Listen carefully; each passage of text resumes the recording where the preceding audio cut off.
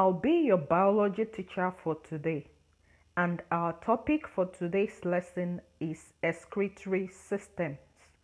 By the end of the lesson, you will be able to infer that excretion is the elimination or removal of metabolic waste products from the cell or body which may be toxic or which are in excess of the cell or body needs. Infer that the removal of waste products in unicellular organisms is by diffusion alone through the cell membrane and also with the aid of the contractile vacuole. Identify and describe different types of excretory systems in animals and plants. Explain the functioning of kidney as an excretory organ. State the main excretory waste products of plants. Excretory systems.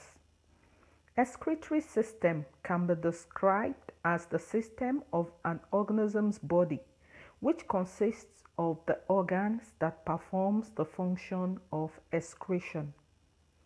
Excretion is the elimination or removal of metabolic waste products from the cell or body which may be toxic or which are in excess of the cell or body needs.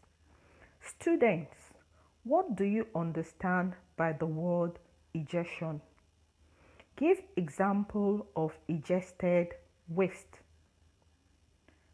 That is correct. Egestion is the removal of solid undigested food substances which are not byproducts of metabolism. Example, removal of feces from the anus. Do not confuse egestion with excretion. Egestion is not the removal of metabolic waste, while excretion is the removal of metabolic wastes. Different types of excretory systems in animals and plants. 1. Cell membrane and contractile vacuole in unicellular organisms. Unicellular organisms such as amoeba and paramecium have in their cells contractile vacuoles which acts to regulate the quantity of water that enters into the cells by osmosis. The contractile vacuole expels excess water from the cells as fast as it enters. The energy required by the contractile vacuole is produced by the mitochondria found near the vacuole. Contractile vacuole expels along with the excess water carbon 4 oxide and nitrogenous wastes. The metabolic wastes not excreted by the contractile vacuole are excreted by simple diffusion across the cell membrane. 2. Flame cells in flatworms. Flatworms such as tapeworm, planaria, make use of simple tubular system. The system consists of numerous flame cells. The flame cells are found scattered all over the body but are connected by a branching system of tubes. The flame cells collect the waste products of metabolism as they are released by individual cells. Each flame cell is of the shape of a funnel with cilia around the mouth. The cilia beats continuously and thereby suck the excretory products into the funnel. The ciliary movement gives the appearance of a flickering flame, hence their description as flame cells. The waste sucked into the funnel pass into one of the excretory tubes on either side of the body. These tubes in turn empty into the surrounding water through the paired excretory pores on the back surface of the organism. We'll be back after the short break. You're welcome back, students. We'll continue from where we stopped. 3. Nephridia in earthworm. The excretory system consists of paired coiled tubules called nephridia in each segment of the earthworm. Each nephridium works independently and drains to outside through a pore called nephridiopore. Each nephridium starts as a funnel called nephrostome that collects excess fluid from the coelom. The fluid filters through the nephrostome and then passes through the tubule. The useful substances are put back into the circulation and wastes enter the bladder, which is finally expelled out through a nephridiopore on the outside of the worm. 4. Green glands in crustaceans. Crustaceans make use of the green glands for excretion. Each gland consists of four parts a small end sac, the green gland, flattened disc called the labyrinth, the nephridial canal, and the urinary bladder. The green gland extracts metabolic waste from the blood. Water and dissolved salts pass into the end sac by filtration. Nitrogenous waste materials pass into the labyrinth. Through the wall of the nephridial canal, there is selective reabsorption of salts and glucose dictated by the needs of the animal. The urine is collected in the urinary bladder and removed by the muscular contraction of the walls of the bladder. It is discharged to the outside through the pair of excretory pores located at the base of the antennae. 5. The Malpighian tubules of cockroach. The tubules are unique excretory organs as they are in the form of thin, elastic, blind ending tubules attached to the alimentary canal between the midgut and the hindgut. The free ends lie in the hemocoel and are baited in the hemolymph. Water and nitrogenous waste drain into the Malpighian tubule and from there into the intestine in the rectum. Most of the water is reabsorbed and almost insoluble waste in the form of uric acid is excreted along with the feces. 6. Excretory organs of fish.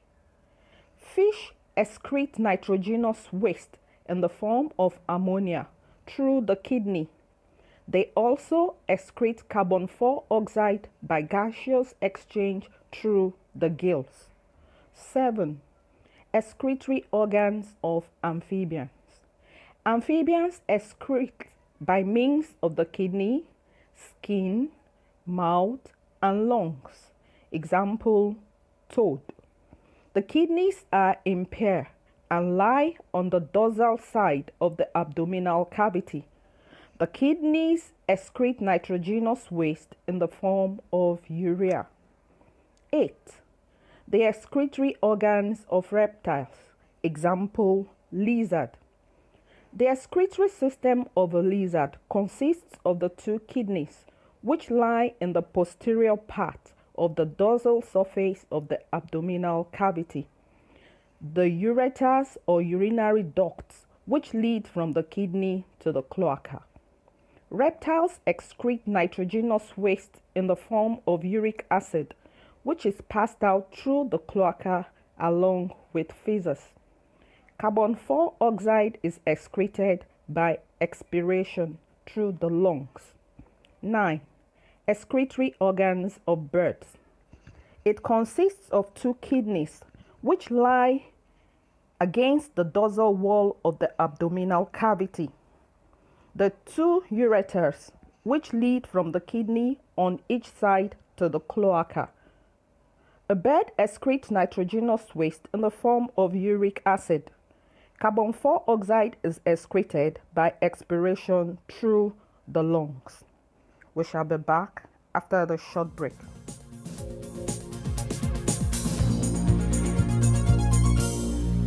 You're welcome back, students. We'll continue from where we stopped. 10. Excretory system of mammals.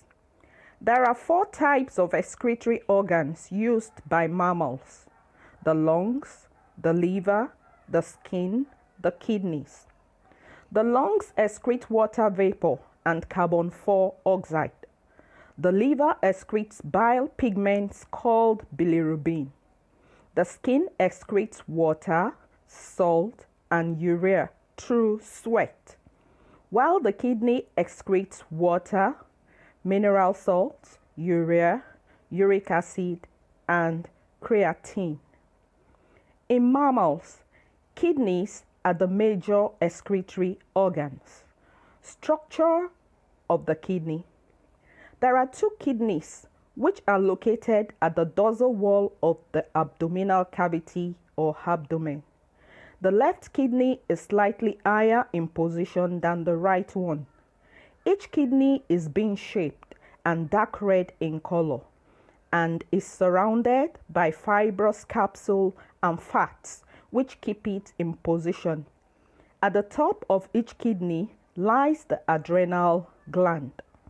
Renal artery renal vein and ureter join each kidney. Renal artery carries oxygenated blood to the kidney, while renal vein carries away deoxygenated blood. Ureter carries urine to the urinary bladder. When a kidney is cut longitudinally, it consists of three portions cortex, medulla, and pelvis. The structure responsible for the formation of urine is the nephron, kidney tubule.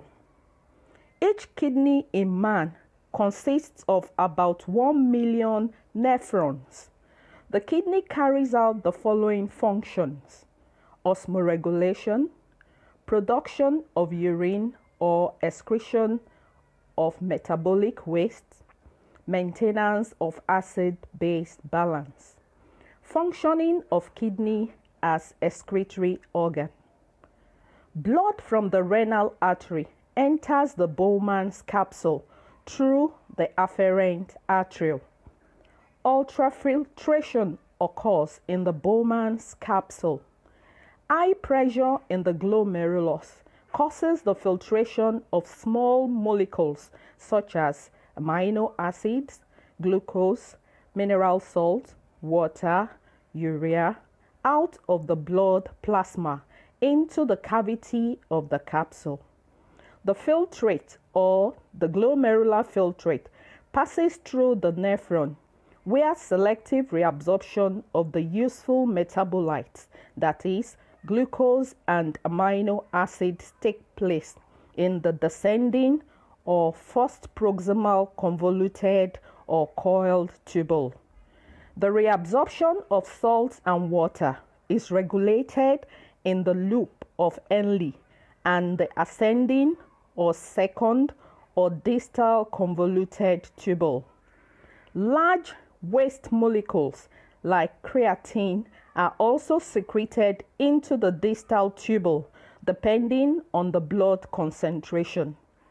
The filtrate continues into the main collecting duct or tube where further reabsorption of water and salt takes place. The remaining fluid in the duct becomes urine. Excretion in plants. There are no special excretory organs or systems in plants. Elimination of certain waste takes place through the stomata and lenticels and some waste are disposed of through various parts of the plant. The main excretory waste products of plants includes carbon 4 oxide, water, oxygen, oils and resins, latex, tannin, mucilage, gum, crystals, alkaloids, and anthocyanin. Students, answer the following questions. What constitutes excretion? By which process can waste products be removed from the cells of protozoans? Explain the functioning of the kidney as an excretory organ. For further studies, read the Senior School Certificate Examination past questions and answers for WAEC, NECO, and GCE Biology. Bye bye, students.